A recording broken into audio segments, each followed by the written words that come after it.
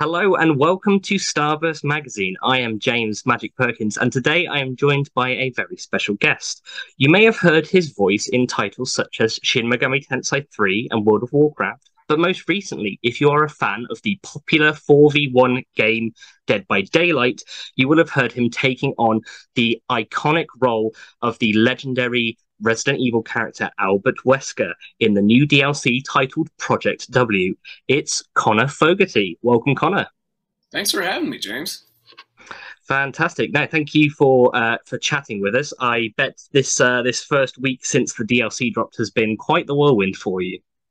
Yeah, it's it's been a whirlwind in a lot of ways. Um, you just my phone's been lighting up every few minutes, which is uh, it's an interesting surprise, but uh, you know, it's it's an adjustment, but uh, it, it's it's a fun one too. So yeah, I don't mind. Fantastic. And for those of our viewers who may not know uh, some of your work, can you uh, introduce yourself? Sure. Uh, um, my well, I am Connor Fogarty. I'm a voice actor down in Los Angeles. I'm from Portland, Oregon. And before uh, Dead by Daylight, I've done voice roles in, I guess you mentioned, I've had a little merch right there, Shin Megami Tensei 3, the remaster of the original game that came out in the mid 2000s where they added voices. So I voiced Hikawa in that, who's one of the villains or your mentor, depending on your perspective and cho- choices. Um, yeah, I've done some work in uh, World of Warcraft. I've done some work in dubbing, anime, and live action, and Fallout. Did some voices in Final Fantasy. It'll all come to me at various points here, but yeah. did some on-camera work up in the Northwest as well. Uh, did a little guest spot on Portlandia once. Fred mm-hmm. Armisen and stuff like that. Uh, yeah. So I obviously you mentioned you've done some live action stuff as well. I yeah. did ha- obviously uh, a bit of research before before chatting to you. Um, how? Because I've spoken to various people who have obviously worked uh, both in front of the camera and behind a microphone. What would you say for yourself is the biggest difference or challenge or you know reward of doing both of those? Oh, sure. Yeah, no, it, it's really interesting because um, something like voiceover, you are you can be a fidgety weather vane, and as long as you're getting the character just kind of channeled, then you've got you've you've, got it done. And often there you're filling in the blanks with your mind because you know there's nothing to see until it's animated, and then you're kind of you could be a collaborator with the animator um, because they're animating to you, or if it's dubbing, you're going off of the animation already. Whereas something like um, uh, live action, you it's it's very much like let's sit in the space. The camera is right here. You can't move your head too much because that's going to look absurd, even if you do that in real life a lot, which I do. Um, hashtag ADHD. Um, but uh, it, that's kind of fun too because it's learning how to uh, give a lot with much less, and it's kind of like just kind of trusting you can live in this small moment, and the inflections are just going to naturally come out based on how you feel, and there's going to be that look in the eye. Whereas voiceover, they can't, they don't know what you look like at all. Hmm. And I would probably never play a lot of the same parts, you know, and vice. Well, maybe I could voice a character that I could play in real life. Um, but you know, voice things that I would never play in real life, I guess. Yeah, it opens up those so so many different avenues of of characters to explore, which I think is yeah, it it, it works both ways, and it, it's yeah. great that um it's great that you're able to you've been able to experience both ways, and you've been able to you know pick a path that you're maybe more comfortable with currently uh-huh. or, or more interested in pursuing but then there, yeah. there's a there's that chance that you can go back to to yeah. um, that other stuff in the future if you wanted to. Right. I kind of see it like I'm, I'm a musician as well, and I kind of see it. It's like learning if you know like music theory or you know the notes. It's like playing a different instrument. So mm. the way you attack the instrument, or maybe you know, it's not an attack. You have to be very gentle with the instrument. It's like that's what acting is. It's the same kind of knowledge and you know the core the core thing is still there, but if it's on camera versus voiceover, there's just a different application a little bit. But at the core, it's the same idea. Mm, absolutely. Um, so before we get into the meat of the conversation, which is of course the uh, Resident Evil Project W DLC for Dead by Daylight, What I wanted to. I wonder. Um, I wanted to get to um, know yourself a little bit better and Sure. Ask you what or who was it that really made you want to pursue uh, a career in acting? Oh boy, that's a great Quite- question. Quite a big question. But I, you know, I think, um, funny enough, doing on camera was actually me just seeing first and foremost if I could act, because voiceover was my, as my voice goes out, uh, voiceover is uh, it was like my first love, and then doing like stage stuff in school and doing on camera was just like, well, what what more of this acting thing could I do? But I think some voiceover actors that really inspired me early on. I guess if I had to pick like a a, a big three, it would be uh, Corey Burton, who was in a lot of the like Hanna Barbera stuff in the '80s, and he's still working constantly even now. I mean, uh, he he's well known as like being Count Dooku in like any sort of animated or video game Star Wars thing. Mhm. He's been a narrator on a ton of stuff. He was like Shockwave in the first Transformers, and among a bunch of other things. Him, D. Bradley Baker, who I feel like needs almost no introduction, um, and David Kaye, who I grew up with. Uh, because he was Clank and Ratchet and Clank, and then he was like Beast Wars Megatron as well, and that blew my mind. That was the same voice. So I think it was like seeing those name that same name at the end of the credits as a kid. I'm like, how can that be the same guy? And I think just that sort of alchemy was like that. That just hooked me. And like, I mean, when I was about 11 or 10, IMDb was a thing. So I would like go there on, at a curiosity and just see like, oh, that guy's that guy. What else have they been in? And you know, just funny that they like, you know, someone's name could be David and they could voice someone named Megatron. That just seems like too. I love that. Yeah, it still it still blows my mind to, to this day as well. Like I, I definitely uh, can relate with you there. You, you, you're watching uh, anime. I, I find it because I, I watch a lot more of my anime in in Japanese, and Yeah. Okay. I, yeah. I, I've I've now got to a point where these voices are so recognizable and iconic. One of them, obviously, being uh, Yuki, uh, Yuki Kaji, um, Hmm, yeah. as as as Eren Yeager.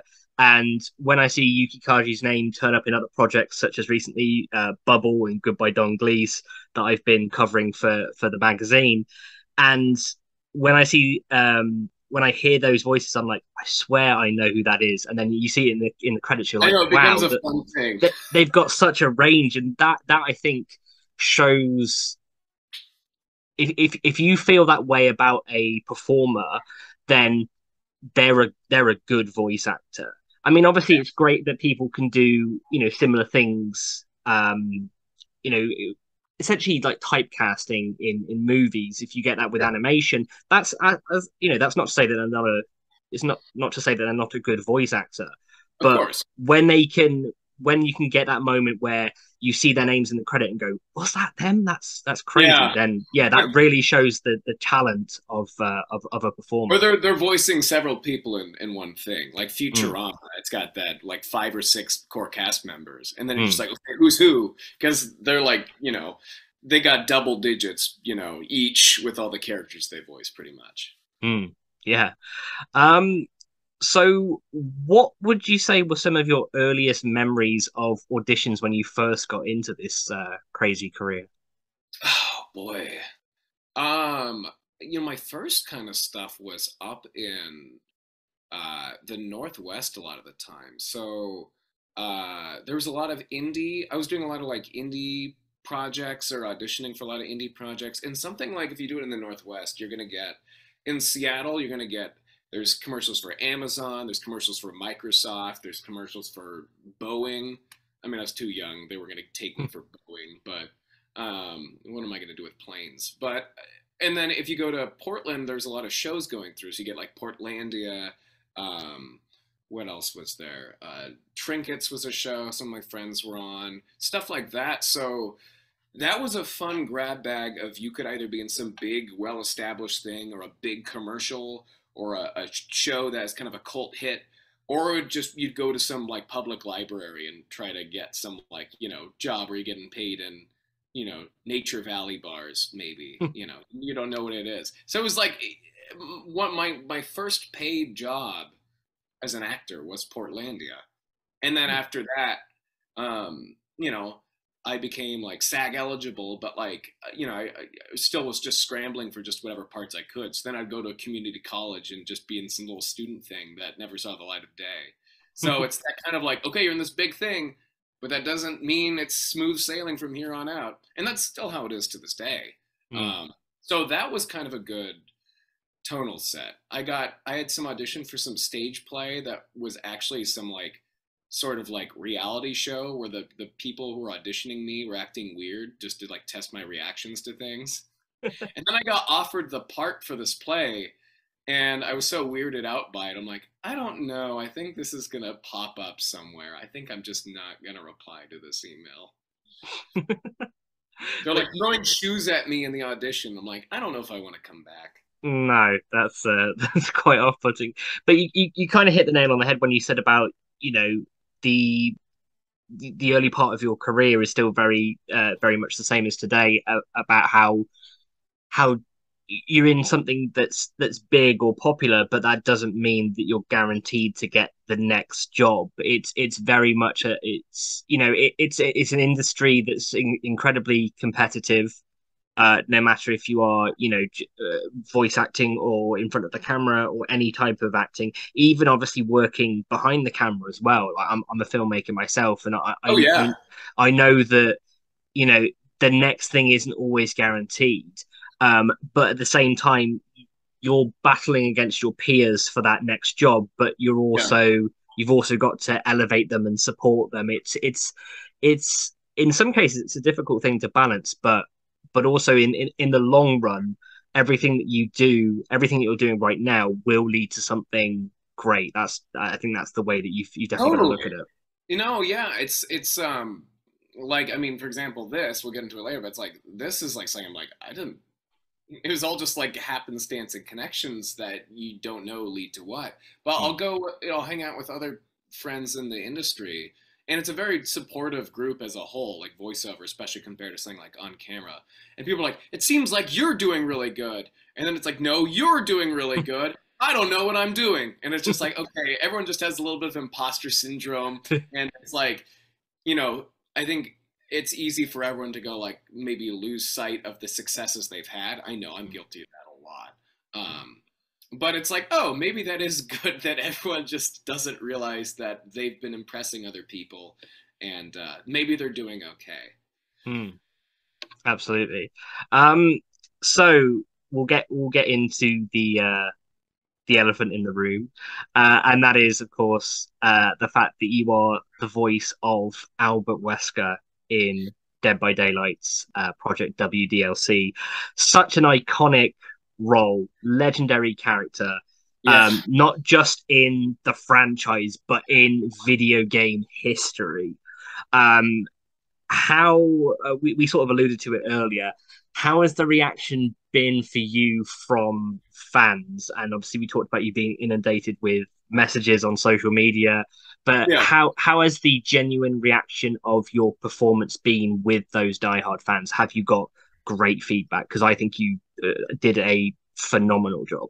Oh, thank you so much. Um, yeah, I mean, I was I was very, you know, nervous because mm. obviously, um, there's some big shoes to fill, and it's been played by a lot of actors, both in voice and on camera. So I'm like, okay, you know, there's some good company there, but um, I know, um, you know, I think like there were like leaks and stuff at some point or something. Um, I know that like a lot of times like with, with whatever thing and then I, but I saw there was some video, and then I was like, okay, well, let's just take a little look at the comments. And then I saw the comments were positive. I'm like, okay, great. Just took a glance. Don't need to look at it. I think Don't I know what. Yeah. Yeah, I, th- I I think I know what video you're alluding to. Um, I think somebody found the the voice samples in like the some parts of the the PC version of the game, and I actually remember because I'm such a huge fan of Resident Evil. I have been for well, what 20, Been around since like five, 90 20 yeah, tw- 20, The 25, character is almost 26 years now. as I am. Yeah. Exactly, yeah. So I've been a fan since pretty much day one, since it came over here to the UK. Um, so I was like, right, I need to. Albert Wesker is my favorite Resident Evil character. I need to know what he sounds like and whether or not it's, uh, you know, the arguably the most iconic person, the, the iconic voice of the character is DC. Douglas. You know, he, DC Douglas has been doing it for years, Right. and I I listened to it. and I went, "That's DC Douglas," and then I, I I I looked in the comments. I was like, "That's not DC Douglas." I was like, "Whoever's doing this voice sounds just like the Wesker I know." So hopefully that's positive praise for you Well, that you, you did yeah, an well- amazing job. Thanks. I mean, yeah, I mean, like, you know, since I announced it and, like, you know, they knew it was me, um, yeah, I- there's some super, super nice comments. And I'm just like, and they, they, they get very, like, specific about what they liked. And I'm just like, I was just trying to do it right. I don't know, you know? I'm like, I'm glad, uh, you know, it was something like that. You just are so glad that it means something to other people. And it's just Mm. like, look, even if you don't, like, know if you did something right and you don't know why you did it right exactly, but it still is right to the person, it's like, well, great, you know? And it's like that's kind of what it is. Every time a character is reprised, um, you know, there's that central DNA of the character, but then always with a new, if there's a different actor. Um, like every major Resident Evil character's had several actors to play it Mhm. there's going to be some new kind of flair that's just inevitably going to just be a result of another actor, you know, Hmm. living in that skin. So I'm I'm just glad they're happy with this iteration. Um, and if anyone is not, I'm sorry, but um, I've gotten some really nice messages, and it, it's really nice of everyone. Hmm. So, so was it actually? Because I know obviously uh, Behavior have worked in collaboration with Capcom before, Yeah, uh, and then obviously they they've worked with other companies like uh, Konami for Silent Hill and Netflix for Stranger Things. Um, so was it actually when you auditioned for the role? Uh, first of all, did you was, was it your agent that found it for you, or did you put yourself forward? Or In that case, Yeah. I actually, um, in that case, I actually got recommended by a casting director um, I know, um, and she's super like generous person. She she was knew the people that were trying to um, you know fill the role here, and she's like, "Hey, I think you could be good for this. I'm gonna put you in touch with them." And uh, then I got an email, and of course, it was all very vague.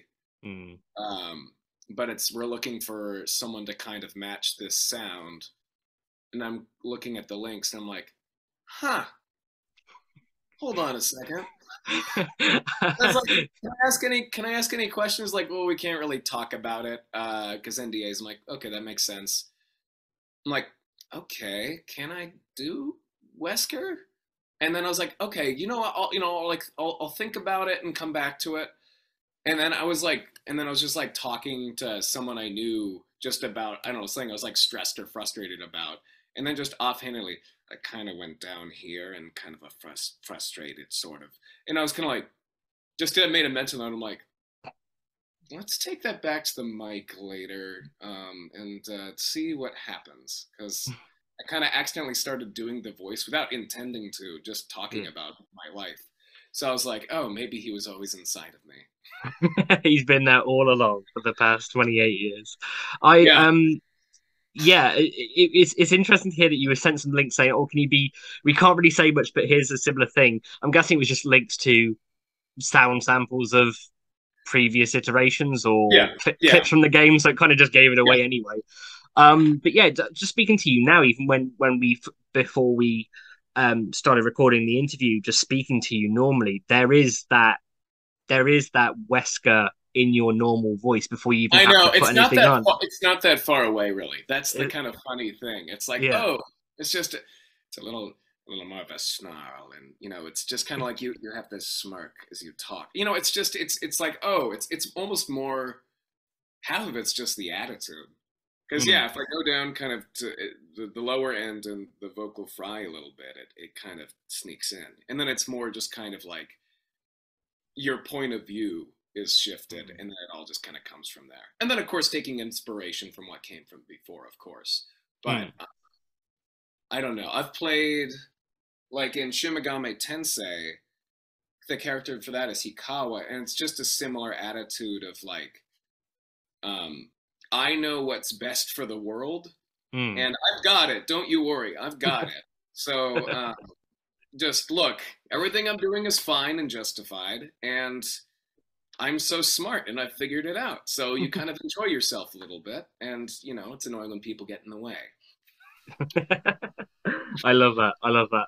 And was it was it actually um you going directly through behavior for this, or did you have any correspondence with Capcom? Because I'm interested because I know obviously recently that stuff that Wesker's been in as a character that DC has played the role. I think most recently we had um we had um Teppen on mobile.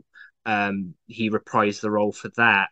Yeah. But I, I'm interested in, in in hearing if if this was directly just in collaboration with Behavior, because if it was with Capcom, then maybe we could uh, potentially hear you again. That's it. If if obviously, Well, of course, on that, on that sort of front, I couldn't tell you either way. I'm sure yeah, that's Um, fair.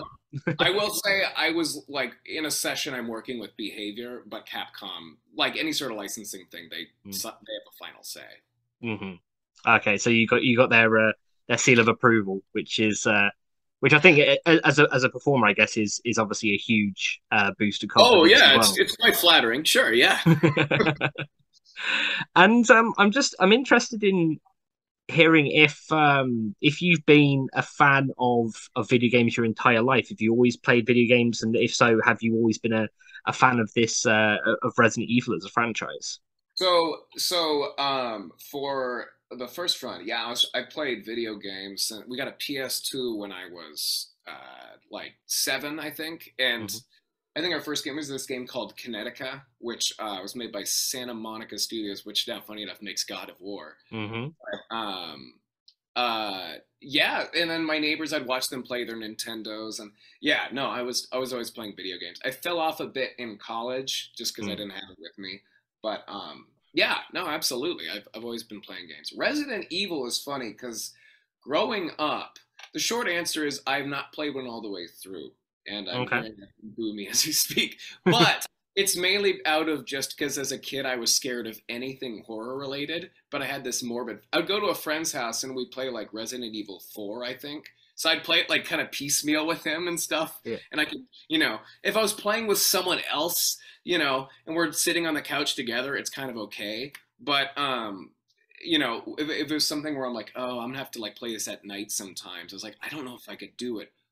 But um, on the front of Resident Evil, I've been familiar with Wesker for a long time Hmm. because as like you know since like high school i thought i wanted to do this in any sort of kind of villain role like that i always wanted to be aware of them and watch the clips and stuff like that so I, i've been like aware of wesker even if i haven't like played all the way through a resident evil game but i've definitely been aware of the franchise for forever Hmm. Yeah, abs- absolutely. That the um, Mm. I, I I love that what what you said about the the villain role. How you know just just in general, Wesker is one of the i'm a all fan of wesker yeah one one of the one of the all time great villains, and and he truly is. Ever since you know, ever since 1996, he has definitely been in the forefront of of the minds of of gamers for for Yeah. sure. Um, so in this uh, DLC, have you have you played much Dead by Daylight before? Were you aware of that as well before? Um, I, I so I knew um my some like streamer friends I knew were Hmm. into it, and I have I've I'm just rehabilitating myself into multiplayer games, hmm. and then with this coming out, I was like, oh, I'm gonna play it, and I'm going to play it. I just I've just been like just strapped for time at the second, but I'm gonna I'm I'm probably I'm, I'm gonna see if I can download it tonight actually because I've been wanting to play it. Um, probably be terrible though. So question is, will, will you be playing as yourself? Will you be I playing? think I have to, but At least you know, one. like, if I exclusively play as myself, I'm like, is that egotistical? I don't know. He's very, very fun to play as. I will say that because I'm I, mainly a I've seen that. I get all the suggested tweets that are like, you know, it, it's just like people talking about like, oh, like his moves and stuff, and I'll get see little video footage of his tentacle business, and Hmm. it looks like a lot of fun. Yeah, I, I'm mainly a survivor player, so I've been I've been playing as uh, Rebecca uh, mainly. Okay, but yeah. but but uh, the last week, I think I've played. Uh, I obviously played a lot as Wesker in the last few days, and this has been the first time in a long time because I've played this game since it was in its alpha stages on PC. Uh, I've um, this is probably the most time I've put into playing a killer since since I started playing the game because Oh. because I love Wesker so much, and the thing that adds so much to it, and I, I've, I've got some streamer friends as well who who have said that the addition of the voices just adds a whole new layer to the game. Because we've had licensed killers in before, but Right. nothing like nothing like Wesker, and to to hear to hear those iconic lines, um, one of my favorite lines of the entire franchise of Resident Evil is the seven minutes line. Um, Oh. So hearing that again, to play with you. Yeah. yeah, No, that was that was the thing. Seaver like, you, I, I'm so glad you said the line. I'm like, yeah, of course. and the uh, poor performance is uh, is iconic as well. Yeah, well, no, you know, of course, I'm, you know, a lot of it's going off of, uh, you know, the the iconic lines of what came before, which I think's a good move because you're like, okay, we can live in this Dead by Daylight world and then play as this franchise, kind of like Stranger Things. You're like, Mhm. I'm playing Stranger Things, the video game. Obviously, West, uh, Resident Evil. There's a ton of games of that, but Mhm. like, um, to like be in this sort of playing environment, it's like, well, you, you'd want to hear the lines, right? So. Hmm. And to hear like the classic lines, it's I, I think that's uh, that's the best way to do it. Mm, mm, yes, hundred percent, hundred percent. It it just uh, it adds it adds like I said that that extra layer. Um, I've been you know, running away from Wesker, and I just hear him just absolutely rip. There's no know, point in hiding. uh, just those bits as well when, when you're hiding when you you see him chasing someone across the Raccoon City police station uh, foyer and and you're hiding behind a box and he's just roasting them as he's chasing after them is yeah it's Yeah, it's a lot of the of most- verbal abuse. Yeah. yeah that is Wesker down to a T he's just uh, Yeah. he he's all talk bless him he's um yeah he's an absolute Mhm. legend It's all smirk. hmm yeah he knows what's best for everyone else Yeah. Um, so what were some of your favorite moments in in in the booth for the, for this one? Because obviously, like we've just said, you know, you got to perform a lot of the iconic lines, but what were some of the other moments that really helped you bring your version of Wesker to life?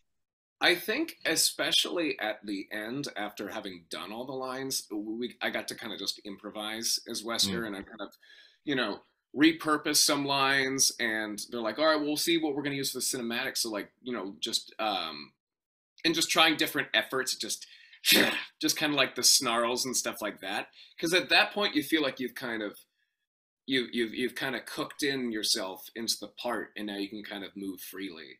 Um, and then also Sebastian was a really great director because he's um, he knows how to do all the efforts so specifically. So he's like, okay, now it's like you're going through a windowsill, and he has this little technique where you like you move your shoulders, and it like you hear it in the voice. Suddenly, it sounds like you're kind of like crawling through something. Um, or using that as like a frame of reference for an effort. So working with them was really fun. And then just kind of the further along you go, the more you just feel comfortable and you're like, okay, so this is like, you know, there's other people that have done it, but at this point, you're learning how to live in the skin of the character and you just kind of feel more free. And you're like, oh, your own version's just naturally going to kind of come out as it does. And that's, that's, I guess, what you want as an actor and not uh, worry too much because I, I worry a, a lot. No, and like like we said earlier, that's totally understandable that you would worry taking on the you know, this huge, huge role. Yeah. Um, but like I said earlier, the fact that I could not tell the difference with the Wesker that I've grown to know, you know, that there's there's always going to be you know your idea your own personal idea and for you to nail that whilst putting your own spin on it but also staying true to the original i think just shows your your your talent as as a voice actor for sure oh thank you you're I welcome that's, that's why that's why we do it, I suppose. Absolutely. And um, one final quick question, right. quite a big one. Your favorite line of dialogue that you recorded that might not have made it into the final version, but what was your favorite dialogue? I think for some reason I really like that. You're merely postponing the inevitable. it's that kind of. It's just you get to really feel the poshness of him sometimes. I think just for whatever reason, I'm like, this guy's just he's just he's wacky, but we love him for that. yeah, he's there's the world, and I, I feel it there. He's like, I'm gonna get you no matter what. Yeah, you are postponing the inevitable. Yeah, the uh, that that just again we we said that that sums Wesker down to a T.